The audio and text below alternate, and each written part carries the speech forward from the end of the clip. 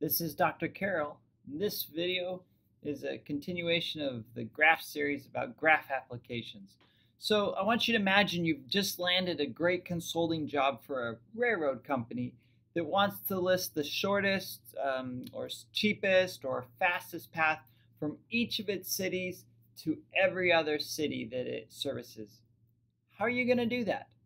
Well, the answer would be shortest path. You want to calculate the shortest path. So as a visual here, let's imagine you had all these these cities and you had these paths between these cities and you wanted to calculate the either the shortest path, the most fuel efficient, the the fastest time, de depending on who you're presenting for, the user, the uh, the executives, or, or who it is. But you could imagine pr producing that. Well, the route, the cities are going to be vertices, and the routes are then going to be edges. And now we have a graph problem. It just looks like a map, but it's a graph problem. And so then the problem we're trying to uh, explicitly address here is the sum of the edge weights in the shortest path we're going to call a length or a weight or a cost. Okay. So there, there's our problem setup. Now how are we going to do this? We're going to use Dijkstra's algorithm.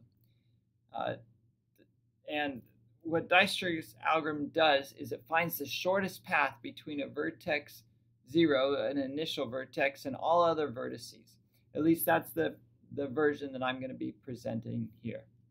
And so Dijkstra's algorithm uses two data structures. It uses a set, we're going to call that the vertex set. It also uses an array, and we'll call that weights. And so weights um, index V, that's the shortest, or you could think cheapest or fastest path from our initial vertex 0 to V. And it passes through the vertices in the vertex set, okay? So it might not be the shortest path as we're calculating, but it's always the shortest path for that go through the vertices in the vertex set, okay? So let, let's set it up. And this may be a little bit different than how you, it's been presented in other classes, okay? Um, and I, I want to point out that the path ends uh, with an edge from a vertex that is in the vertex set. Um, now, V here may or may not be in the vertex set, but it is the, the cheapest path to that if there is a path that does exist through the vertex set. So to initialize it, we put um, the zeroth node in the vertex set. And then we initialize all of the weights according to the first um, the first row the, well, the row with uh, vertex 0 from the adjacency matrix. Um, and we, we just copy all those in for the, for the entire, uh, for all V in the graph. Okay? And it's, and we initialize this because vertex 0 is the only vertex in the vertex set. And so then it's just the pass from vertex 0 to all the other vertices. Okay? So now that's initialization step. Now let's do steps two through n. Okay, so we add a vertex with the smallest or shortest or cheapest path that is not in the vertex set. Okay, and then we update the path cost for all vertices that are not in the vertex set. Uh, we don't have to worry about the ones that are already in the vertex set because, um, uh, sorry, we need to update all paths that are going to be involved by adding this one to the vertex set. So here's some code. Um, Dijkstra's shortest path on a graph G, and we're operating on an array that's an adjacency matrix, so a, a two-dimensional array. Okay, so the first step is to initialize. And so we're going to make our vertex set, and we're going to, um, it's a set, and then we're going to add 0 to the vertex set. And then um, we're going to keep track of how many vertices there are in G so that we can iterate through them. Okay, so we, we're going to go 0 through n minus 1 because that's how many times we know we need to go through it.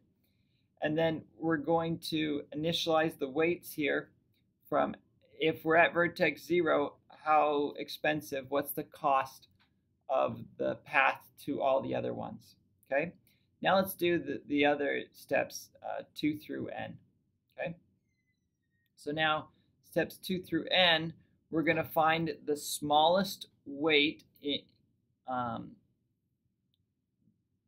we're going to find this, this the, the cheapest edge for where the end is a vertex that's not in the vertex set, okay? And then we're going to add that vertex to the vertex set, and then we're going to update all the weights, okay? And we're going to go through and, and update them. And what this says is that if our current path cost from 0 to u is more than the path cost from 0 to v, plus the edge from v to u, then update the path cost from 0 to u. And here's the update right here. Okay, let's see an example.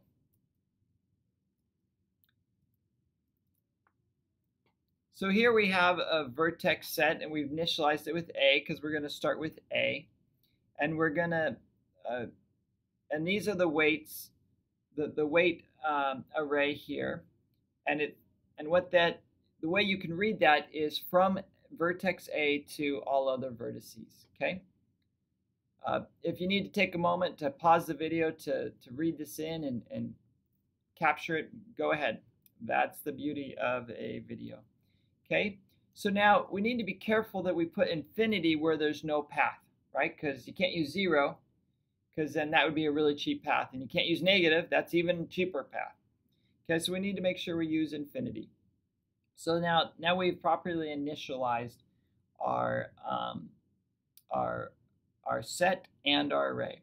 So now what we do is we, we find that 10 is the cheapest edge in our weights. And so we're going to add B to our vertex set. So right now we have A, and then now we've included B. Okay, and now we need to update the weights, uh, the, the path costs in weights. We'll see, we can now get to C through B, going like this. So now we have a path from A to C. Before it's infinity, and now it's not. And now we looked for the lowest edge cost that involves a, a vertex that's not in our vertex set. And that's going to be E, 30 here. We're only considering 60, 100, and 30. So we add E to our vertex set, and then we need to update the weights for those that aren't in the, the vertices that are not in the vertex set.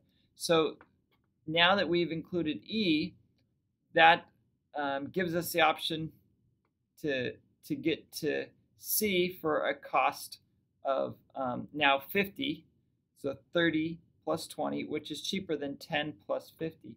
It also allows us to update the cost to, to D from 100, which is A to D, to, to 90. Okay?